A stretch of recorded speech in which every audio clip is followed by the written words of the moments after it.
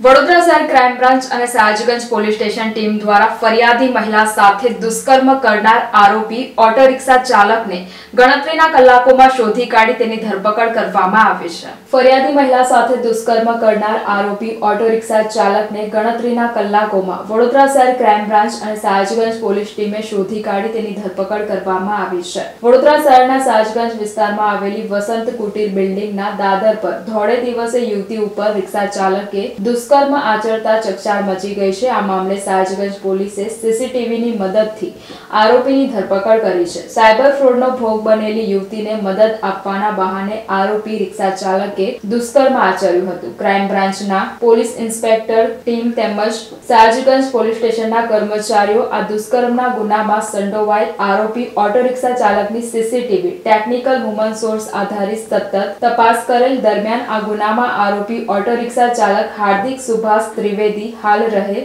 દાદુનગર તરસાલી વડોદરાનો સંડોવાયેલાનું જણાતા આ આરોપીની શોધમાં રહી આરોપીને જાંબુઆ બ્રિજથી શોધી કાઢી આગળની તપાસ માટે સાજગંજ પોલીસ સ્ટેશનને સોંપેલ છે અને આગળની કાર્યવાહી હાથ ધરવામાં આવી છે.